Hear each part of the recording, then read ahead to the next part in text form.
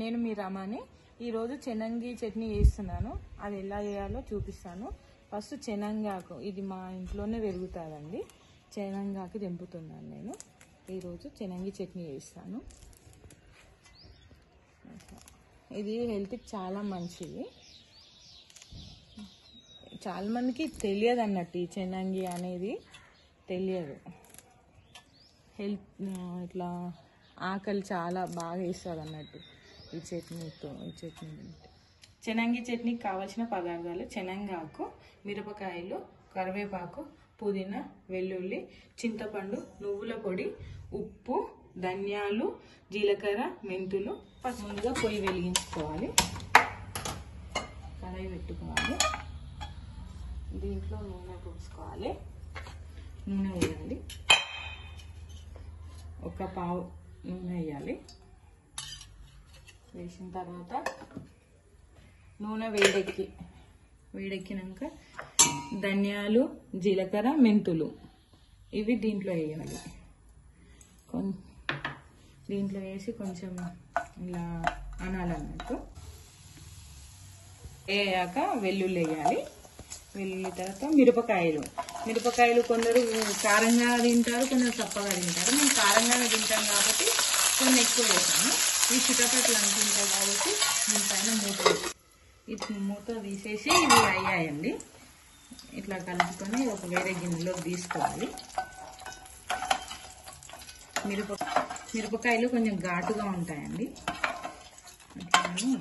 ఈ ఒక గిన్నెలో తీసుకుంటాను తినా వేసిన కలే కరివేపాకు గోలిన తర్వాత దీంట్లో ఇప్పుడు శనంగాకు వేయాలండి.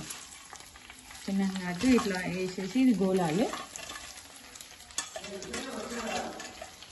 ఇది గోలిన తర్వాత ఇది కలుపుకోవాలండి. ఇలా కలుపుకుంటూనే ఉండాలి. కొంచెం కలిపి ఇట్లా ఇదంతా కొంచెం మగ్గిన తర్వాత ఇది కొంచెం ఇట్లా మగ్గిన తర్వాత చింతపండు వేసుకోవాలండి. ఎంత అంటే ఉసిరికాయ అంత చింతపండు వేసుకోవాలండి. మళ్ళీ కొందరు ఎక్కువ పులుపు తినరు కాబట్టి కొంచెంగానే వేసుకున్నాము ఇది ఇట్లా గోలాలండి. చింతపండు ఇట్లా ఎందుకంటే ఈ వాసన పచ్చి వాసన పోయే వరకు గోలియాలండి ఇది. వాసన పసుపు వేసా స్పూన్ పసుపు. వేసుకోవాలి కొంచెంగా ఉప్పు. ఉప్పు ఎందుకంటే ఇది తొందరగా ఉడుకుతుంది అన్నట్టు కొంచెం మనం నూరేటప్పుడు ఇట మళ్ళీ వేసుకోవాలి. దీనివల్ల ఉపయోగాలు ఏంటంటే షుగర్ పేషెంట్లకి చాలా మంచిదండి. కిడ్నీ ఫెయిల్ అయిన వాళ్ళకి ఇది పొడి కొట్టి ఈ పొడితో అన్నం పెట్టాలండి మంచిది.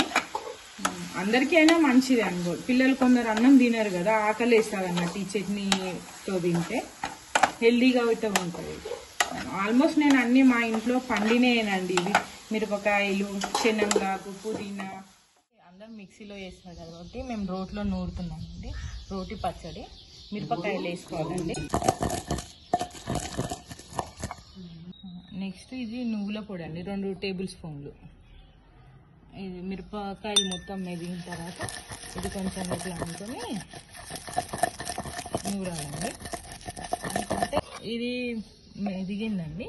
ఇప్పుడు దీంట్లో ఇది వేసేయాలండి ఆకు శనగాకు ఇవన్నీ పుదీనా కరివేపాకు వెల్లుల్లి చింతపండు వేసాం కదా పసుపు చింతపండు అన్నీ వేసాం. ఇదంతా ఇంకా వేసేసి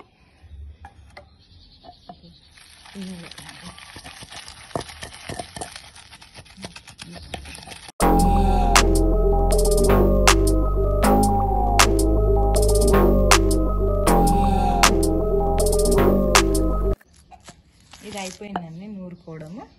ఇది తీ- వేరే గిన్నెలో తీసుకొని తాలింపు వేసుకోవాలండి చట్నీ నూరడం అయిపోయిందండి. ఇప్పుడు తాలింపు వేసుకోవాలి. పొయ్యి వెలిగించాలి. తాలింపుకు కావలసిన పదార్థాలు జీలకర్ర ఆవాలు ఎండుమిర్చి కరివేపాకు కొత్తిమీర. కొత్తిమీర గార్నిష్ కోసం.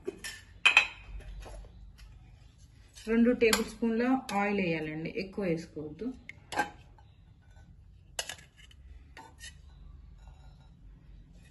నూనె వేడెక్కిందండి. ఈ పోపు దినుసులు రెండు ఒకేసారి వేసండి సరిలేదు జీలకర్ర ఆవాలు ఎండుమిర్చి. అయిన తర్వాత కరివేపాకు అండి. కరివేపాకు రెండు రెమ్మలు.